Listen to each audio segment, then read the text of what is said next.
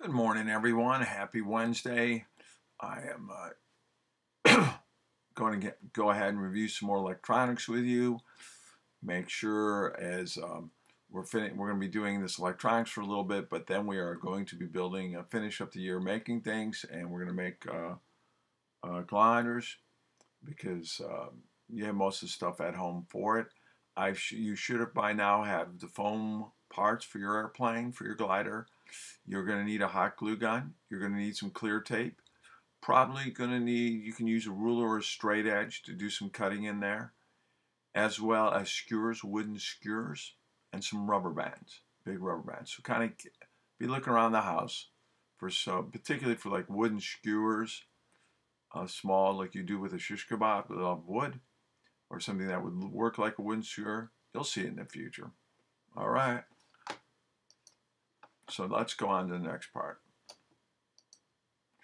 We've talked about a crude description of electricity in a circuit is you think about water as the current. That's easy to remember because sometimes we call current water, think of a river. And then this pressure that we get pushing down, which is measured as voltage going in there, and resistance resists that. Okay? So those are the three things current, voltage, and resistance we're going to talk about. And when you have current times voltage, you get power, the actual work that can be done. So you can push, you get more water, the water would come out, could do more work. All right. Now, we all tried that with the battery and the lamp. You did for the most part, and hopefully is going to get working. I have no idea why this will not. I'm just going to exit out. And I'm going to go on to the next file. Hopefully All right, all right, let's try this again. Let's see if I pull it up here if we can get it. So I'm going to crank this out. I got some screenshots there. So we made this, then we changed the batteries, and we resulted, and we saw what it did to lamp, which in this case was really nothing. And then we pulled some current um, some people were finding it was better not to use the left, but to press the switch over to the right side on the current measure meter. Um, so I would sit there and say, if I updated this right now, I would say right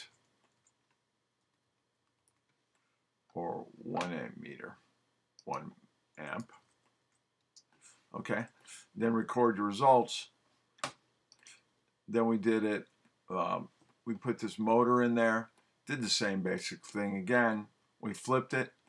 When we ran it, it probably it may have gone clockwise or counterclockwise. When we changed the direction of that current, it went the opposite direction. So up here in the lamp, I didn't say anything, but if you change the current, it didn't change the lamp at all. It could go changing the current, the direction of the current didn't change anything. That's what the negative and positive are identifying for you. But if we do this, the motor spins. So one thing we learn is if you're an electric golf cart, one of the ways you make it go backwards, you just switch in the current. All right. And then that's what we realize there. You can add a meter. Let me go ahead and update this. I'll use this next. Record your value. There you're set to go you would start to see significant draws. And I'm not really so much worried which one. And if you spin it, you would see it would have a different value, whether or not as you turned it on, if you put more of a, um, you made that motor do more work, you would see the current draw more and more. So the battery sets your voltage. The current is, de de is dependent on how much you want of something. How much draw does it do? How much does the device you're trying to power ask for the current? And then it tries to supply that. All right, uh, let's go back over here. All right, then we went and built the LED. You've got resistance here, got battery switch. When we switched that one, what happened? You found out, honestly, it wouldn't run. LEDs are very sensitive to polar. So let's think about lamp, doesn't matter. Motor changes direction the motor spins and third LED works or does is light emitted diode. And we use light emitted diodes or diodes just to prevent you, when you plug something in, if you plug it in wrong, it doesn't fry because they've attached a diode to it. so it won't allow that current to come in the wrong way. All right, we put this on here. Um, I'm going to go ahead and make this right as well, though, honestly.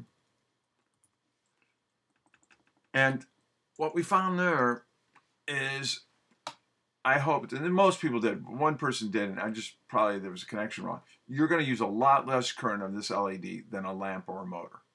There's a reason why in the United States we've all switched to LEDs. I'm willing to bet your children, and certainly your grandchildren, will not even know what a lamp is. It'll be a special device. Everything will be almost all LEDs by then. Because if we go and you, you know, part of the deal is I can't send home everybody a multimeter like I would have liked. But if you had a multimeter, we could take an actual measurements and you could see that, for example, uh, the lamp, the, the LED uses 8%. So it's less than one tenth of the energy a lamp does. All right. So, which draws more current, the lamp or the LED? An LED does uses less current, that requires less energy, so less electricity generation. So that's why we want you to go to LEDs. All right, and it'll save you money. Now, if you started adding resistors here, what you found out is, and you changed each out each resistor in this mode, you found out that um, the the resistor got the LED got dimmer and dimmer and dimmer. All right. So let's do another thing. So we did resistance. As the I increase resistance, what does the LED do? If the current stays the same in all cases, then what does increasing the resistance do to the voltage? Well, by increasing the resistance, it reduces the voltage, and we know this because the LED just got dimmer. All right. Now, please rebuild this. Observe how fast it spins. So that the rest we just did was review. Right now, I want you to go back and I want you to rebuild this. Okay, I'm going to count to three and pause once you have it. I want you to spin it. I want you to spin it. Let it spin. Notice the direction. And then I want you to build this one. Two double battery packs. The positive one battery pack is the negative this. Here, here, another switch. I want you to see how much more it turns. Okay? I'm going to go to count to three and then pause. All right, now, the batteries are connected again, positive, negative. How would you mathematically describe the voltage? What did the voltage do on yours? And how would we describe it? Well, we would describe it this way, and just give you this. Voltage in series, we call them in series when it's nose to tail, so positive, negative. If it's positive, positive, we're going to talk about being in parallel when we hook these batteries up or you hook things up. Here we're hook, hooking them up in series. V total equals V1 plus V2. So this voltage and this voltage, these are each 3 volts. Each battery is 1.5 volts, 3. Now something you should understand about voltage on a battery. If the battery's 1.5 volts and you have 1.4 volts, it's of no use. It has to have the minimum 1.5 or higher because that voltage is, remember, is a push. And if it doesn't have at least one and a half volts, it can't push the current. All right? So saving batteries that have 1.2 volts are just, there's no reason to. Go recycle them. Um, the batteries are connected positive. Now in this case, I want you to connect, notice, positive in this side positive. So this whole arm's positive. Notice this is negative. All of notice there's not a switch here. So the minute you snap, start snapping these things on, you're going to see that it'll, it'll run. Now, what I want you to see is how fast does it spin though compared to when you had in series. This would be described as being in parallel because the positive and the positive are on the same side. The negative and negative are on that side.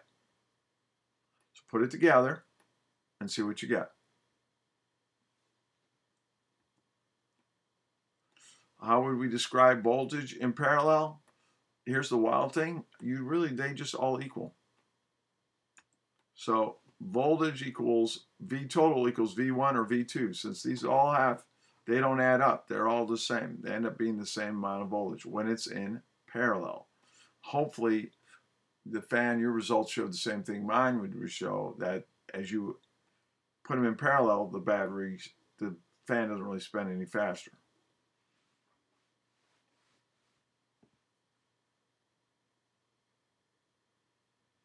Um, also, I would say, so why in the world would you put batteries in parallel, not in series? Because what you're losing in um, fan going faster, the fan can spin longer. So we put things in parallel when we're faster.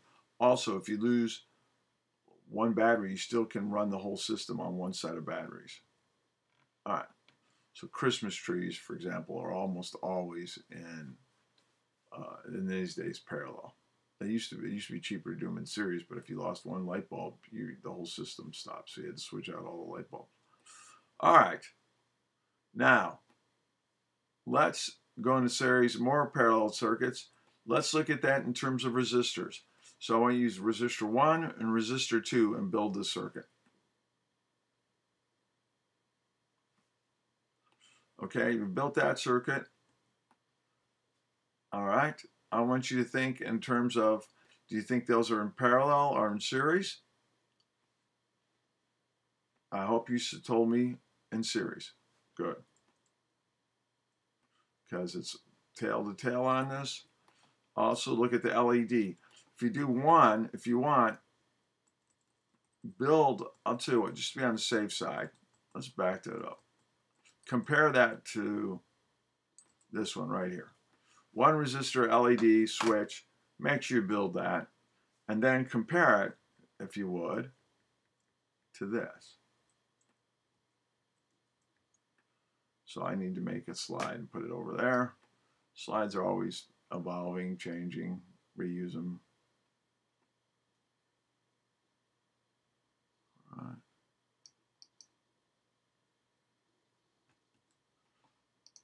Copy that.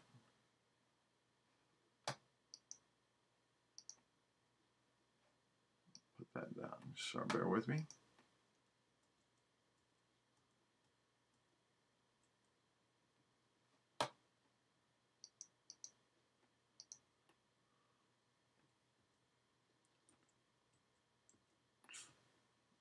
Okay. Uh, let me see here. Please rebuild this build this circuit. Then, the next screen, we're going to make this circuit. Notice this is used an R1. I want you to use an R1 and R2. So take a moment, build it, compare them. Are the resistors in series or parallel? I want you to think about that. In this case, they're in series. They're lined up one after each other. What is the resistance of the circuit? Well, believe it or not, it adds up. So if you have um, R1 and R2, I believe is a, let me take a quick look. I'll pull those off my notes here. All right, let's see here. R1 is 100 and a horseshoe. If you look at the R1, that's 100 ohms and then 1K, and they're missing the horseshoe, but it'd be 1,000. So this is 1,100 ohms. So the resistance LED goes down. All right. Resistors in series add up. So R total equals R1 plus R2. Now, a little bit something a little bit stranger. Build this circuit right here.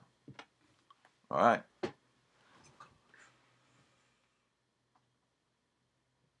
Also, remember, LEDs are very sensitive to polarity. If you don't build it exactly the way we show it, you know, you got the polarity wrong, it won't work on an LED.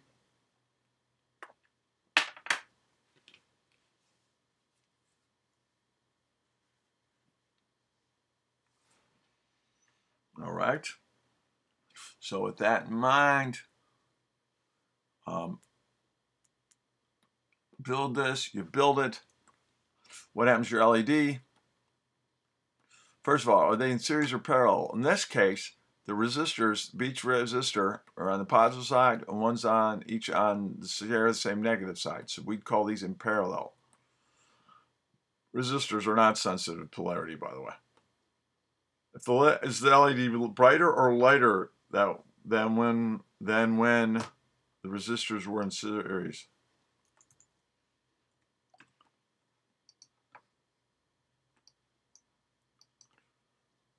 Um, I think you're going to find that it was brighter. And so resistance total actually goes down. So think of these like pipes. Yes, there's resistance going across here, but by adding more and more pipes, some of the, this was the water analogy, water is going from here to here. If you keep adding pipes, some are more blocked up than others, you're still going to get more water into the system. So believe it or not, if you want to decrease uh, when um, in parallel, parallel.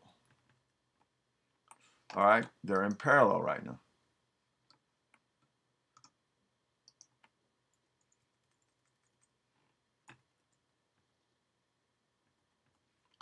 All right. Then, the LEDs were brighter when we found was true. The LEDs were brighter when we increased voltage. The LEDs were brighter when we decreased resistance. And those are both true. All right. This is Ohm's law, and it's a graphic of it. But I just want you to see current is known as amps. That's where you see I there. Voltages are often shown in E, though we can use V.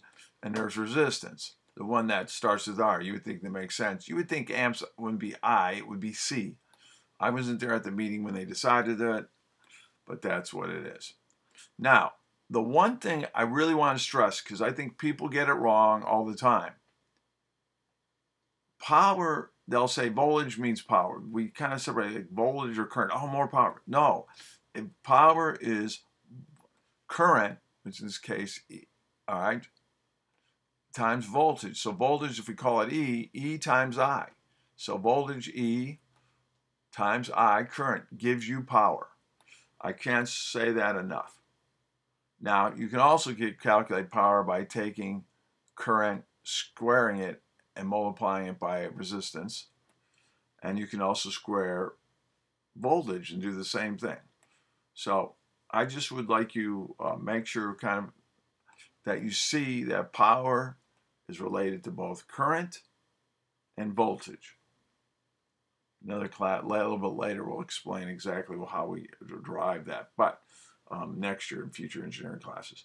So voltage equals I over R. So if I want to calculate voltage, if I know the current, I know the resistance, I can get it. They were also calling this E just a minute ago, but voltage equals, so voltage in a circuit is current times resistance. Resistant uh, voltage, the, excuse me, current is equal to voltage over resistance. Resistance equals voltage over current. By doing that, you can calculate all the currents at every one of these cells in a circuit. Uh, we're not going to do that so much right now. I do want you to see that doing this law and Kirchhoff's laws is most electronics. So it goes really well by getting to know that. Okay? All right. So today, I just want you to build these projects, take a picture. I would like you to build, go through what I just did on Current's Law, and then look at some circuits and things you're just interested in and make some cool ones. And I'm going to let you, I'm going to give you free will on that one. All right. And then we're going to go over something Friday. And then we will probably end up uh, a little bit more electronics, so not a lot. But uh, by next week, we're going to start building planes. All right. So you get to build something with your hands. Not normally what we like to do in design one. I'd rather have you build something totally from scratch. But the, with the use of equipment, that's where we are this year. Okay. You have a great day. And so send me a picture of a project you've built. Hopefully you followed this. You've seen where we're going with Ohm's Law. Please do that. Thank you. Bye. Oh, well,